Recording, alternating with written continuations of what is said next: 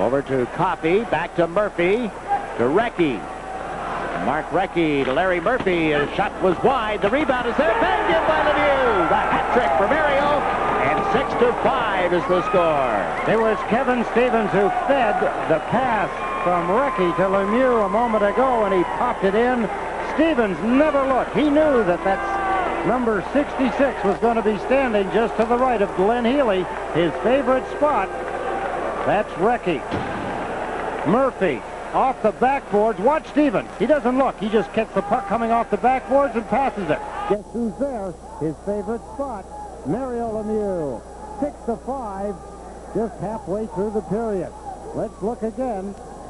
Stevens in front of the net. There he is, number 25. Here's the puck off the backboard. And he just laid a pass across. Nobody near Mario Lemieux. And it's only a one-goal difference. Third of the game. Fifth of the season for Lemieux.